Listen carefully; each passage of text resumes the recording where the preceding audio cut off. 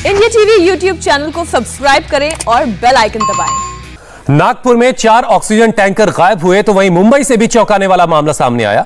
मुंबई में vaccination centre पर लंबी लंबी कतारें लगी हैं, जिससे निपटने के लिए बीएमसी ने सोसाइटीज में वैक्सीनेशन सेंटर बनाने का फैसला किया और कुछ सोसाइटीज में काम भी शुरू कर दिया है। लेकिन इन सोसाइटी में रहने वाले लोग इसका अब विरोध कर रहे हैं। ऐसा क्यों है?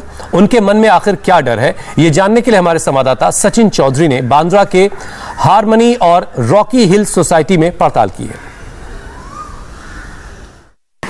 निजी प्राइवेट सोसाइटीज़ को डॉक्टर के साथ, निजी प्राइवेट हॉस्पिटल के साथ टाई अप करना होगा और वैक्सीनेशन सेंटर जो है सोसाइटी में शुरू करना होगा। उसके लिए उन्होंने कुछ नियमावली जो है वो बताई है, जैसे कि वैक्सीनेशन सेंटर के अंदर जो है उन्हें वैक्सीनेशन रूम बनानी होगी, उसके अलावा ऑब्जर्वेशन रूम बनानी होगी टॉयलेट्स और पानी की व्यवस्था करनी होगी सीनियर सिटीजन के लिए व्यवस्था करनी होगी और सोशल डिस्टेंस का खासतौर पर पालन करना होगा।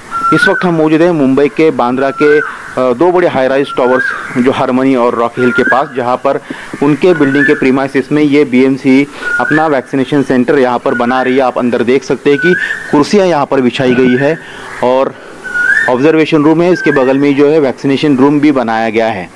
तो बीएमसी ने इस तरह की तैयारी शुरू कर दी है, लेकिन जो सोसाइटी के लोग हैं वो इसका विरोध भी कर रहे हैं एक तो भीड़ जमा हो रही है होगी कहीं भी ले लो आप कोई भी वैक्सीनेशन सेंटर में लोग बोलते हैं कि हम कंट्रोल कर रहे हैं बीस लोग आएँगे सौ लोग आएँगे मगर ऐसा होता नहीं है। इतना मारामारी चल रहा है वैक्सीन लेने के लिए कि क्राउड तो जमा होगा ही है। इनसे कंट्रोल होगा नहीं है। और उसमें से कितने कोविड पॉजिटिव आएँगे वो किसको पता नहीं है। और उसके लिए एक बार जमा हो गए यहाँ पर और हमारे सिक्सटी परसेंट सीनियर सिटीजन है।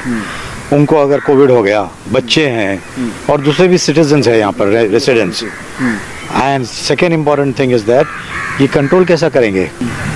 आप लोग बोल रहे हैं कि भीड़ मत लगाओ साथ में रहो मत। अब इसमें क्या होगा? आप खुद भीड़ लगाएँगे? छः सौ के उतना के थोड़ा ज़्यादा स्क्वायर फीट है इसमें। इसमें कितने जन को रखेंगे कितने जन को बिठाएँगे? आधा घंटा बिठाना पड़ता है। फिर बड़ी जगह लगाना चाहिए ना और इनके पास तो है। वोटिंग करते टाइम इलेक्शन के टाइम पे बड़े बड़े जगह लेते हैं। कॉलेजेस लेते हैं स्कूल्स लेते हैं हॉल्स लेते हैं। और यहाँ कितने सारे वो छोड़ के भाई हमारे वेलफेयर सेंटर में क्यों? सोसाइटी खुद गवर्नमेंट को बोल रही है हमारे यहाँ आओ वैक्सीनेशन सेंटर चालू करो और हमारी सोसाइटी के 50 मेंबर 100 मेंबर को वैक्सीन दो।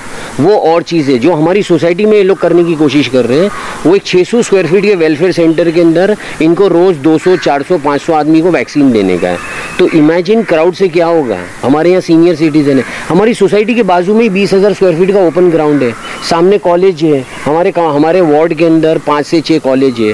पाँच से छः स्कूल है। इतनी सारी ओपन स्पेस है। चर्च है। मंदिर है मस्जिद है why they are not using this space यानी आज गवर्नमेंट बोल रही है बीएमसी बोल रही है सोशल डिस्टेंस सोशल गैदरिंग नहीं। और हमारी सोसाइटी जो इतनी छोटी सी सोसाइटी है उसमें रोज 500 लोग आएँगे।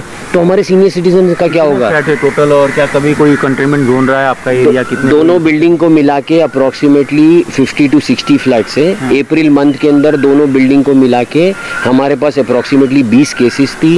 इट वॉज़ कंटेनमेंट जोन और बिल्डिंग सील गई गई थी। बोर्ड अभी भी लगा बोर्ड अभी भी लगा हुआ है आप लोग चाहिए तो उसका फ़ोटो ले सकते हो। हम्म। उसके बावजूद भी आप हमारी एक प्राइवेट सोसाइटी में रोज 400-500 लोग आएँगे। हम्म। अब वो कोई भी क्लास के लोग होंगे वो क्लास से हमारे कोई मतलब नहीं है। You are creating crowd in a private place when you already have multiple option in our area और हमारी एरिया की कॉरपोरेटर ने यहाँ के वार्ड के ऑफिसर्स लोग को बहुत सारे ऑप्शन दिए हम्म। कि ये स्कूल ले लो ये कॉलेज ले लो यहाँ तक कि हमारी कॉरपोरेटर ने अप्रूवल भी लेके दे गई है बट हम्म। उनको ये 500 स्क्वायर फीट के वेलफेयर सेंटर में ही 500 लोगों को बुलाना है हम्म। तो कहाँ से सोशल डिस्टेंस होगा मुंबई के जो प्राइवेट सोसाइटीज है वहाँ पर लोगों को लोगों के मन में डर है कि बीएमसी वहाँ पर जिस तरह से वैक्सीनेशन सेंटर शुरू कर रही है, उससे बहुत सारी भीड़ आ सकती है, क्योंकि भले ही बीएमसी ये कहे कि सोशल डिस्टेंस का पालन करेंगे, भले ही ये कहे कि टाइम स्लॉट में लोगों को बुलाया जाएगा, लेकिन भीड़ हो जाती है और उससे सोसाइटी के लोग भी इन्फेक्टेड हो सकते हैं। इस तरह का डर जो है, निजी सोसाइटीज़ को भी सता रहा है और ऐसे में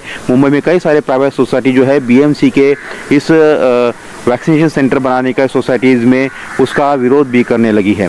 कैमरामैन प्रतीक के साथ सचिन चौधरी इंडिया टीवी मुंबई। नमस्ते, मैं हूँ मीनाक्षी जोशी। वीडियो और खबरों से अपडेट रहने के लिए India TV YouTube channel subscribe करें। बेल आइकन दबाना ना भूलें। जुड़े रहें इंडिया टीवी के साथ।